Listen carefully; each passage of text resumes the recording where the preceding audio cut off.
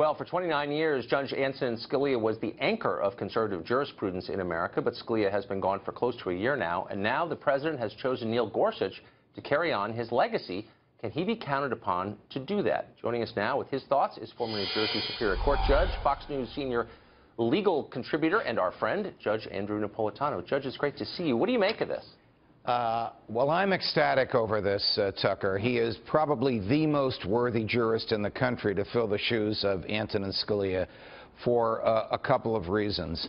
One is a healthy skepticism about the ability of the government to regulate the economy and to regu regulate yeah. our personal lives.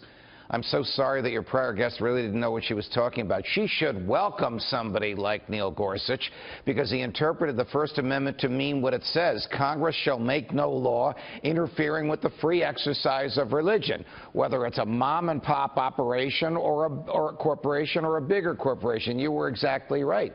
The government can't force you to give a benefit to your employee when the giving of that benefit violates your religious beliefs and when the employee right can get the benefit elsewhere. And the Supreme Court upheld that decision of Judge uh, Gorsuch. So that's the, that's the small picture that I'm happy about. The big picture is Judge Gorsuch, as you know, Tucker, you and I have talked about this, embraces the idea of originalism, which simply means the meaning of the Constitution was fixed at the time it was ratified, and it's only been changed each time it was amended 27 times.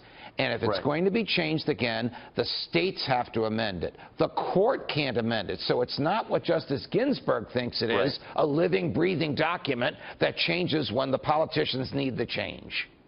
What's interesting is that originalists tend to take a pretty dim view of executive orders because the Constitution, of course, specifies that the Congress makes the laws, not the executive. And I wonder, since the last several presidents have relied pretty heavily on them, including this one, if there are implications in that. Well, there would be implications in that if the executive orders are tantamount to making the law. For example, right. when Barack Obama issued a, a, series of executive orders, there's actually 24 of them, uh, affecting immigration, a trial judge in Texas ruled this is not the president telling the Department of Homeland Security how to enforce the law. This is the president changing a law in a way that the Congress specifically rejected. That's right. That was true. upheld by the United States Court of Appeals for the Fifth Circuit in New Orleans, and then the Supreme Court split on it in a four-to-four tie, which basically upheld what the Fifth Circuit said. What President Trump is doing so far not only is everything that he promised he would be doing, but within the contours of the law, telling the people who work for him in the executive branch how he wants them to exercise their discretion. Interesting. So I, I, should just say to our viewers, I know that you have met with the president a couple of times recently. You probably talked about this. I know there are also people in the administration who wanted to pick you. Um, so you have a pretty good advantage on this. What do you think this new justice, if confirmed, will make of some of the cases, the key cases coming before the court in the next year or so? Okay, there are some very interesting cases coming before the court. And Tucker, they are coming in April. Very significant. That's two months from now.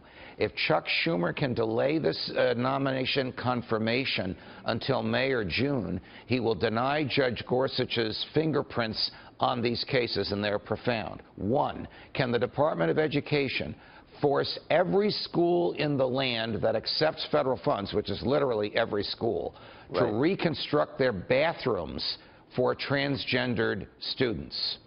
Two, if a state decides to take, you're not going to believe this, old automobile tires and turn them into a parking lot, can a Catholic church use the parking lot for students to play a game of wiffle ball on?